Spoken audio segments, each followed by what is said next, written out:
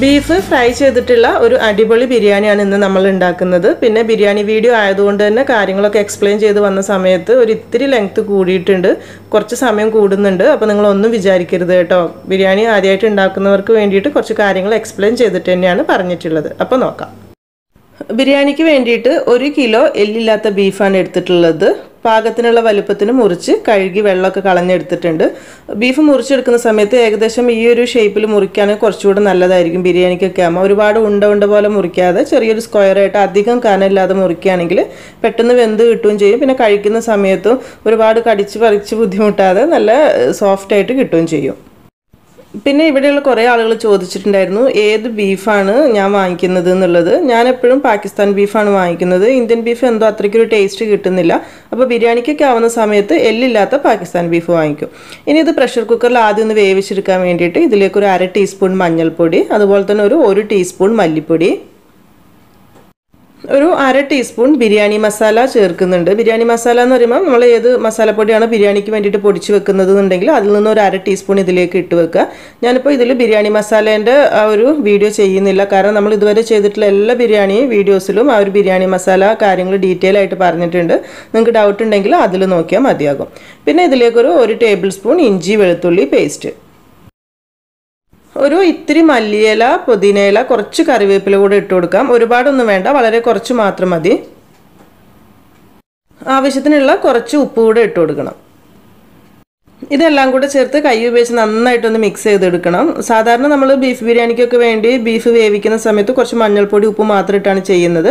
പക്ഷേ ഇതുപോലെ കുറച്ച് കാര്യങ്ങളും കൂടെ ചേർത്ത് ചെയ്യുകയാണെങ്കിൽ ബീഫിലേക്ക് നല്ലൊരു ഫ്ലേവർ കിട്ടും. അപ്പോൾ അതിന് വേണ്ടിയിട്ടാണ് ഇങ്ങനെ ചെയ്യുന്നത്. ഇതെല്ലാം കൂടെ ചേർത്ത് നന്നായിട്ട് മിക്സ് ചെയ്തതിന് ശേഷം നമ്മൾ പ്രഷർ കുക്കറിലിട്ട് ഒരു നാലോ അഞ്ചോ വിസിലാണ് കൊടുക്കുന്നത്. കാരണം ഒരുപാട് വെന്തോടേണ്ട ഒരു തൊണ്ണൂറ് ശതമാനം വെന്താൽ മതി. ബാക്കി നമ്മൾ ഫ്രൈ ചെയ്യുന്നുണ്ട്. ഈ സമയത്ത് ഇതിലേക്ക് ഒരു കാൽ ഗ്ലാസ് വെള്ളം കൂടെ ചേർത്ത് കൊടുക്കുന്നുണ്ട്. ബീഫിൽ ഓൾറെഡി വെള്ളം ഉണ്ടാവും. എന്നാലും ഒരു കാൽ ഗ്ലാസും കൂടെ ഒഴിച്ചു കൊടുക്കുക. കാരണം ഈ ബീഫ് വേവിച്ച വെള്ളം നമുക്ക് ലാസ്റ്റ് ആവശ്യമുണ്ട്. അപ്പോൾ വേവിക്കാൻ വെക്കുന്ന സമയത്ത് ഒരു കാര്യം ശ്രദ്ധിക്കുക. ഓരോരുത്തരുടെയും പ്രഷർ കുക്കർ അനുസരിച്ചും അതുപോലെ തന്നെ ബീഫ് അനുസരിച്ചും വേവിൽ വ്യത്യാസം വരും. അപ്പോൾ അത്യാവശ്യം വേവും വേണം എന്നാൽ വെന്തോടയും ചെയ്യരുത്. ഒരു എൺപത് മുതൽ ഒരു തൊണ്ണൂറ് ശതമാനം വരെ അത്യാവശ്യം നന്നായിട്ട് വെന്ത് വരട്ടെ. അപ്പോൾ ഇത് അടച്ച് വെച്ചിട്ട് ഒരു നാല് മുതൽ അഞ്ച് വിസിൽ വരെ വെയിറ്റ് ചെയ്യാം. ഇപ്പോൾ ബീഫ് വെന്ത് കഴിഞ്ഞ് കുറച്ച് സമയമായിട്ടുണ്ട് കേട്ടോ. പ്രഷർ കുക്കറിൽ നിന്നും മാറ്റി അതിന്റെ വെള്ളം മാത്രം മാറ്റിയെടുത്ത് ഒരു സൈഡിലേക്ക് എടുത്ത് വെച്ചിട്ടുണ്ട്. ബാക്കിയുള്ള ബീഫാണിത്. ഇതൊന്നും ഇനി ഫ്രൈ ചെയ്തെടുക്കുന്നതിന് മുമ്പ് ചെറുതായിട്ടൊന്ന് മാരിനേറ്റ് ചെയ്യണം. ഈ സമയത്ത് ഇതിലേക്ക് ആദ്യം ഒരു ടേബിൾ സ്പൂൺ ലെമൺ ജ്യൂസ് ചേർത്ത് കൊടുക്കുക. പിന്നെ ബീഫിൽ ഉപ്പുള്ളത് കൊണ്ട് തന്നെ വേണമെന്നുണ്ടെങ്കിൽ മാത്രം ഒരു രണ്ട് നുള്ളു ഉപ്പ് ചേർത്ത് കൊടുത്താൽ മതി. ഒരു രണ്ട് ടേബിൾ സ്പൂൺ കാശ്മീരി മുളക് പൊടിയാണ് ചേർത്ത് കൊടുക്കുന്നത്. നല്ലൊരു കളർ കിട്ടും. കാശ്മീരി മുളക് പൊടി ആകുമ്പോൾ ഫ്രൈ ചെയ്ത് വരുന്ന സമയത്ത്. സാധാരണ മുളക് പൊടി ആവുന്ന സമയത്ത് അത്രയ്ക്കൊരു കളർ കിട്ടില്ല.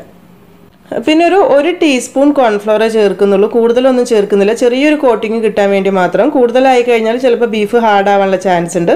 ഇനി ഇതെല്ലാം കൂടെ ചേർത്തിട്ട് കൈ ഉപയോഗിച്ച് നന്നായിട്ടൊന്ന് മിക്സ് ചെയ്തെടുക്കണം. വേറെ മസാലപ്പൊടി ഇഞ്ചി വെളുത്തുള്ളി പേസ്റ്റ് ഒന്നും ചേർക്കുന്നില്ല. കാരണം നമ്മൾ ബീഫ് ഓൾറെഡി ഇഞ്ചി വെളുത്തുള്ളി പേസ്റ്റ് ഒക്കെ ചേർത്തിട്ടാണ് വേവിച്ചിട്ടുള്ളത്. ഇനി ഇത് സമയം ഉണ്ടെന്നുണ്ടെങ്കിൽ ഒരു പത്ത് മിനിറ്റ് വെക്കുകയാണെങ്കിൽ നല്ലതാണ്. അല്ലാന്നുണ്ടെങ്കിൽ ഡയറക്റ്റ് തന്നെ ഫ്രൈ ചെയ്തെടുക്കാം. ഫ്രൈ ചെയ്യാൻ ആവശ്യത്തിനുള്ള ഓയിൽ ചൂടാക്കിയിട്ട് അതിലേക്ക് ബീഫ് ഇട്ടിട്ട് ഫ്രൈ ചെയ്തെടുക്കണം. ഫ്രൈ ചെയ്യുമ്പോൾ ഒരുപാട് കാര്യം പറയാനൊന്നുമില്ല. മീഡിയം ഫ്ലെയിമിലിട്ട് തന്നെ ഫ്രൈ ചെയ്തെടുത്താൽ മതി. കാരണം ഉൾഭാഗമൊക്കെ വെന്ത ബീഫാണ് അപ്പോൾ അതുകൊണ്ട് തന്നെ ഒന്നങ്ങ് കളർ മാറി ഒന്നങ്ങ് ഫ്രൈ ആയി വന്നാൽ മാത്രം മതി.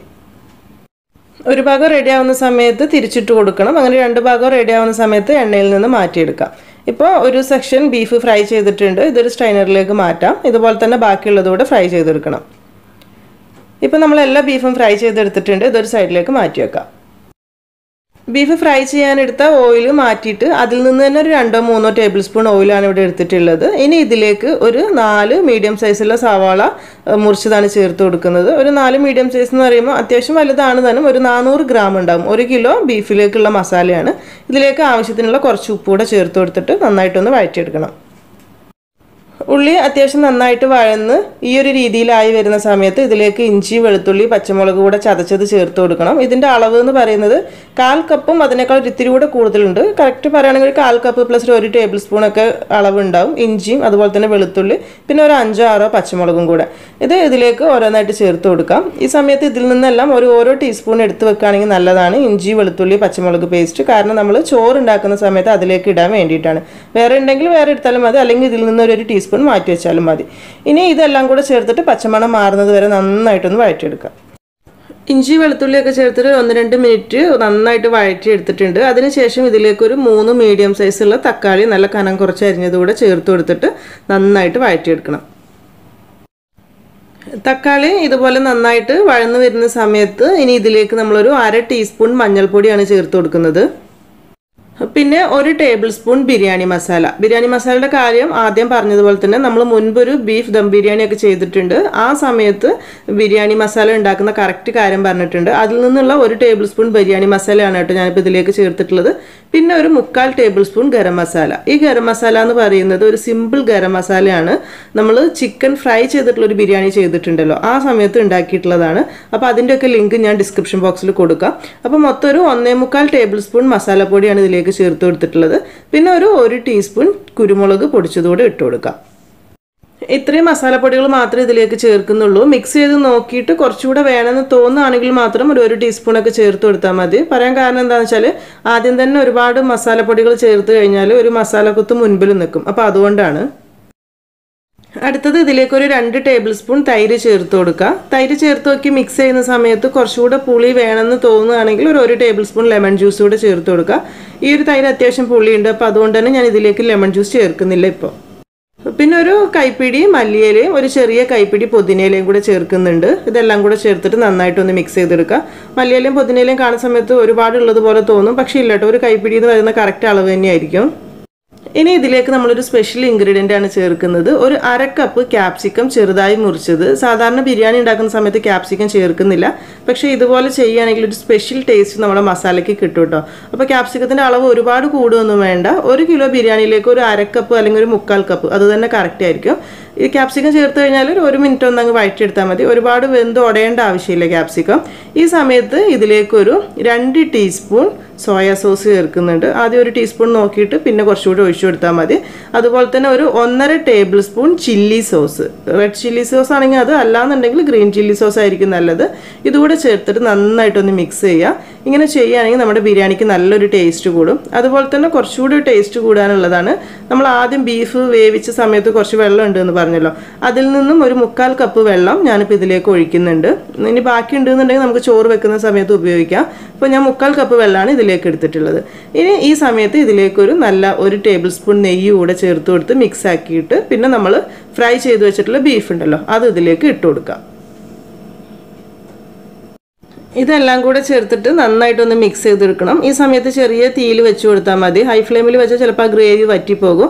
പിന്നെ ഒരു കാര്യം കേട്ടോ നമ്മൾ ആ ബീഫ് വേവിച്ച വെള്ളം ഒഴിച്ചിട്ടുണ്ടല്ലോ ഒരു മുക്കാൽ കപ്പ് അല്ലെങ്കിൽ ഒരു കപ്പ് അത് കഴിഞ്ഞിട്ട് ഒരു ഒരു മിനിറ്റ് ഒന്നങ്ങ് തിളപ്പിച്ചതിന് ശേഷമാണ് ഇതിലേക്ക് ബീഫ് ഇട്ട് കൊടുത്തിട്ടുള്ളത്. അതായത് ആ വെള്ളം ചെറുതായിട്ടൊന്ന് വറ്റുമ്പോഴാണ് ബീഫ് ഇതിലേക്ക് ചേർത്ത് കൊടുത്തിട്ടുള്ളത്. എല്ലാം കൂടെ ചേർത്തിട്ട് ബീഫ് കവർ ചെയ്യുന്ന രീതിയിൽ മസാലയൊക്കെ ഒന്ന് പൊത്തി വെച്ച് കൊടുക്കുക. അപ്പോൾ ഇത്രയേ ഉള്ളൂ നമ്മുടെ ഈ ഒരു ബിരിയാണി മസാല എന്ന് പറയുന്നത്. ശരിക്കും നല്ല ടേസ്റ്റി ആയിട്ടുള്ളൊരു ബീഫ് ബിരിയാണി മസാല തന്നെയാണിത്. അപ്പോൾ റെഡിയാക്കിയിട്ടുള്ള ബീഫ് മസാല ഒരു സൈഡിലേക്ക് മാറ്റി വെക്കാം. ഇനി ബിരിയാണി ചോറ് ഉണ്ടാക്കാനായിട്ട് തുടങ്ങാം. ചോറ് വെക്കാൻ ആവശ്യമായിട്ടുള്ള പാത്രം ചൂടാക്കി എടുത്തിട്ട് അതിലേക്കൊരു മൂന്ന് അല്ലെങ്കിൽ നാല് ടേബിൾ സ്പൂൺ സാദാ സൺഫ്ലവർ ഓയിൽ ഒഴിച്ചു കൊടുക്കാം. ഒരു മൂന്ന് ടേബിൾ സ്പൂൺ നെയ്യ് കൂടെ ഇതിലേക്ക് ഒഴിച്ചു കൊടുക്കണം. ഡാൽഡ ചേർക്കാൻ താല്പര്യമുള്ളവർക്ക് ഓയിലിന്റെ ഒരു പകുതി വേണമെങ്കിൽ ഡാൽഡ എടുക്കുക കേട്ടോ. അത് കുഴപ്പമില്ല. ഇനി എണ്ണ ചൂടായി വരുന്ന സമയത്തേക്ക് ഇതിലേക്ക് ഒരു മൂന്ന് നാല് പട്ട ഗ്രാമ്പു ഏലക്കൊക്കെ ഇട്ട് കൊടുക്കുക അതിനുശേഷം ഇതിലേക്ക് ഒരു ചെറിയ കഷ്ണം സവാള ചെറുതായി മുറിച്ചത് ചേർത്ത് കൊടുക്കുക പിന്നെ നമ്മൾ ആദ്യം പറഞ്ഞല്ലോ വെളുത്തുള്ളി ഇഞ്ചി പച്ചമുളക് എല്ലാം കൂടെ ചതച്ച പേസ്റ്റ് ഒരു ഇത്തിരി മാറ്റി വെക്കണമെന്ന്. മൂന്നും കൂടെ ചതച്ചത് ഒരു ഒരു ടേബിൾ സ്പൂൺ മതി കൂടുതൽ വേണ്ട. കാരണം നമ്മൾ ഇതിലേക്ക് ചേർക്കാൻ കാരണം എന്ന് വെച്ചാൽ ബിരിയാണിയുടെ ചോറ് സെപ്പറേറ്റ് ആയിട്ടാണ് ഉണ്ടാക്കിയെടുക്കുന്നത്. അതായത് ദം ചെയ്യുന്നില്ല. അപ്പം ആ ഒരു രീതിയിൽ ചെയ്യുമ്പോൾ ബിരിയാണി ചോറിന് നല്ലൊരു ടേസ്റ്റ് കിട്ടാൻ വേണ്ടിയിട്ടാണ് ഇങ്ങനെ ചെയ്തിട്ടുള്ളത്. ഇനി ഇതിലേക്ക് ആവശ്യത്തിനുള്ള വെള്ളം. ആവശ്യത്തിനുള്ള വെള്ളം എന്ന് പറയുമ്പോൾ നാല് കപ്പ് അരിയാണ് നമ്മൾ ബിരിയാണിക്ക് വേണ്ടി എടുക്കുന്നത്. നാല് കപ്പ് അരി എടുക്കുമ്പോൾ ഒരു ഏഴ് കപ്പ് ചൂടാക്കിയിട്ടുള്ള വെള്ളം ഇതിലേക്ക് ഒഴിച്ചു കൊടുക്കാം. ഞാനിവിടെ ഇപ്പോൾ ജീരകശാല അരി വെച്ചിട്ടാണ് ബിരിയാണി ഉണ്ടാക്കുന്നത്. ബസ്മതി റൈസ് ഉപയോഗിക്കാൻ താല്പര്യമുള്ളവർക്ക് വേണമെങ്കിൽ അത് എടുത്താലും മതിയാകും. അപ്പോൾ ഈ സമയത്ത് വെള്ളം തിളച്ച് വരുമ്പോൾ ഇതിലേക്ക് ആവശ്യത്തിനുള്ള ഉപ്പ് ഇട്ട് കൊടുക്കണം. പിന്നെ ഒരു രണ്ട് ടേബിൾ സ്പൂൺ ക്യാരറ്റ് ചെറുതായി മുറിച്ചത്. ഗ്രേറ്റ് ചെയ്തിട്ടിടണ്ട. ചെറുതായി മുറിച്ചിട്ട് കൊടുത്താൽ മതി. ഒരുപാട് വേണ്ട രണ്ട് ടേബിൾ സ്പൂൺ മതി. വെള്ളം തിളച്ചുകൊണ്ടിരിക്കുന്ന സമയത്ത് കഴുകി ഊറ്റിയെടുത്തിട്ടുള്ള നാല് കപ്പ് അരി ഇതിലേക്ക് ചേർത്ത് കൊടുക്കുക. നിങ്ങൾ എടുക്കുന്ന അരി കുതിർത്തിട്ട് ഉപയോഗിക്കേണ്ടതാണെങ്കിൽ അങ്ങനെ തന്നെ ഉപയോഗിക്കണം. ഞാനിപ്പോൾ ഇവിടെ ജീരകശാല അരിയാണ് എടുത്തിട്ടുള്ളത്. അപ്പോൾ അതുകൊണ്ട് തന്നെ ഇതൊരു ഇരുപത് മിനിറ്റ് കുതിർക്കേണ്ട ആവശ്യമുണ്ട്. ഒരു ഇരുപത് മിനിറ്റ് കുതിർത്തതിന് ശേഷമാണ് ഈ വെള്ളത്തിലേക്ക് ഇട്ട് കൊടുത്തിട്ടുള്ളത്. ഇനി എല്ലാം കൂടെ ചേർത്തിട്ട് നന്നായി മിക്സ് ചെയ്ത് നോക്കിയിട്ട് ഉപ്പ് വേണമെന്നുണ്ടെങ്കിൽ ചേർത്ത് കൊടുക്കുക. ഇനി അത്യാവശ്യത്തൊന്ന് തിളച്ചോട്ടെ. തിളച്ച് കഴിഞ്ഞിട്ട് അടച്ചു വെച്ചാൽ മതി കേട്ടോ. ഇപ്പോഴേ അടച്ചു വെക്കണ്ട. തിളയ്ക്കുന്നതിന് മുൻപ് അടച്ചു വെച്ചാലുള്ള പ്രശ്നം എന്താണെന്ന് വെച്ചാൽ ചോറ് വല്ലാണ്ട് കുഴഞ്ഞു പോകാനുള്ള ചാൻസ് ഉണ്ട്. അപ്പോൾ അതൊന്ന് നോക്കിയിട്ട് ഒന്ന് തിളച്ച് വരാൻ വേണ്ടി വെയിറ്റ് ചെയ്യാം ഉപ്പ് നോക്കിയിട്ട് വേണമെന്നുണ്ടെങ്കിൽ ഇത്തിരി കൂടെ ചേർത്ത് കൊടുക്കണം. പിന്നെ നമ്മൾ നെയ്ച്ചോറ് വെക്കാൻ വേണ്ടി എടുക്കുന്ന വെള്ളം എടുക്കുമ്പോൾ ബീഫ് വേവിച്ച വെള്ളം ബാക്കി കയ്യിലുണ്ട് എന്നുണ്ടെങ്കിൽ അത് എടുത്തിട്ട് ബാക്കിയുള്ളത് സാധാ വെള്ളം എടുത്താൽ മതി. അങ്ങനെ ആവുന്ന സമയത്ത് ചോറിന് നല്ലൊരു ടേസ്റ്റ് ഫ്ലേവർ ഒക്കെ കിട്ടും. പക്ഷെ ഞാൻ ഈ സമയത്ത് ഇപ്പോൾ ചേർക്കുന്നില്ല. എന്താണെന്ന് വെച്ചാൽ അത് മഞ്ഞ കളറുള്ള വെള്ളം ആയതുകൊണ്ട് തന്നെ ചോറ് മൊത്തത്തിൽ കളർ മാറിപ്പോകുന്നത് കൊണ്ട് മാത്രമാണ് അല്ലാന്നുണ്ടെങ്കിൽ നിങ്ങൾക്ക് ചേർക്കാം. അപ്പോൾ ഇതൊന്ന് അടച്ചു വെക്കാം. ഒന്ന് തിളച്ച് കഴിഞ്ഞ് ഒരിത്തിരി വെള്ളം വറ്റുന്ന സമയത്ത് ഇതിലേക്ക് ഒരു ഒരു ടേബിൾ സ്പൂൺ ലെമൺ ജ്യൂസ് കൂടെ ചേർത്ത് മിക്സ് ചെയ്തിട്ട് ഒന്നുകൂടെ അടച്ചു വെച്ച് വേവിക്കാം. നല്ലോണം തിളച്ച് കഴിഞ്ഞ് ലെമൺ ജ്യൂസൊക്കെ ചേർത്ത് കഴിഞ്ഞ് പിന്നെ വെക്കുമ്പോൾ ചെറിയ തീയിൽ വെക്കണം. ഹൈ ഫ്ലെയിമിൽ വെച്ചാൽ പെട്ടെന്ന് തന്നെ വെള്ളം വറ്റി പോവുകയും ചെയ്യും. ചോറ് വേവുമില്ല അപ്പോൾ അത് നോക്കണം പ്രത്യേകിച്ച്. ഇപ്പം നോക്കുന്ന സമയത്ത് നമ്മൾ ചോറ് അത്യാവശ്യം നന്നായിട്ട് കറക്റ്റായിട്ട് തന്നെ വെന്ത് വന്നിട്ടുണ്ട്. നോക്കുക. അല്ലാന്നുണ്ടെങ്കിൽ കുറച്ച് സമയം കൂടെ അടച്ചു വെക്കണം. വെള്ളമൊക്കെ വറ്റി കറക്റ്റായിട്ട് തന്നെ വന്നിട്ടുണ്ട്.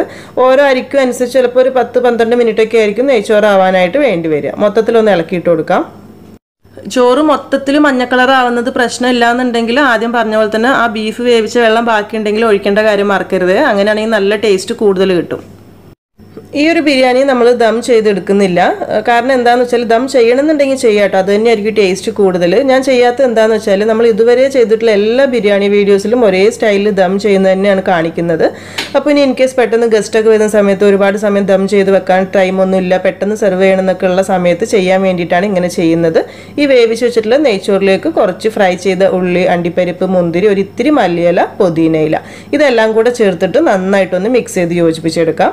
ഇനി നിങ്ങൾക്ക് ദം ചെയ്യുന്ന വീഡിയോ ഡൗട്ട് ഉണ്ട് എന്നുണ്ടെങ്കിൽ നമ്മുടെ ഫദ്വാസ് കിച്ചൺ ബിരിയാണി എന്ന് അടിച്ചു കൊടുക്കുമ്പോൾ ഒരു മൂന്നാൽ ബിരിയാണി വരും. അതിൽ കറക്റ്റായിട്ട് വിശദീകരിച്ചിട്ടുണ്ട് കേട്ടോ.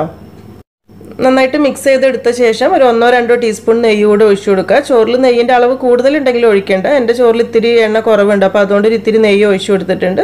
പിന്നെ ഒരു രണ്ട് ടേബിൾ സ്പൂൺ പാലിൽ കുറച്ച് മഞ്ഞൾപ്പൊടി മിക്സ് ചെയ്തിട്ട് ഒഴിച്ചു കൊടുത്തിട്ടുണ്ട്. ചോറിന് നല്ലൊരു കളർ കിട്ടാൻ വേണ്ടിയിട്ട്. ഒരു ഇത്തിരി ബിരിയാണി മസാല കൂടെ ഇതിന്റെ മുകളിലേക്ക് ഇട്ട് കൊടുക്കാം ഇനി ഇതൊരു ഫോയിൽ പേപ്പർ വെച്ചിട്ട് വേണമെന്നുണ്ടെങ്കിൽ ഒന്ന് കവർ ചെയ്തിട്ട് ഒരു പത്ത് മിനിറ്റ് ഒന്ന് അടച്ചു വെക്കാം. എന്നിട്ട് മിക്സ് ചെയ്തെടുക്കുകയാണെങ്കിൽ നല്ലതാണ്. ഇനി സമയമുള്ളവരാണെന്നുണ്ടെങ്കിൽ കുറച്ച് കൂടുതൽ സമയം വെക്കുകയാണെങ്കിൽ നല്ലതായിരിക്കും ഒരു ഇത്തിരി കൂടെ നല്ല ടേസ്റ്റ് കൂടുതൽ കിട്ടും. സമയം ഇല്ലാന്നുണ്ടെങ്കിൽ ഒരു മിനിമം പത്ത് മിനിറ്റ് എങ്കിലും ഒന്ന് അടച്ചു വെക്കാം.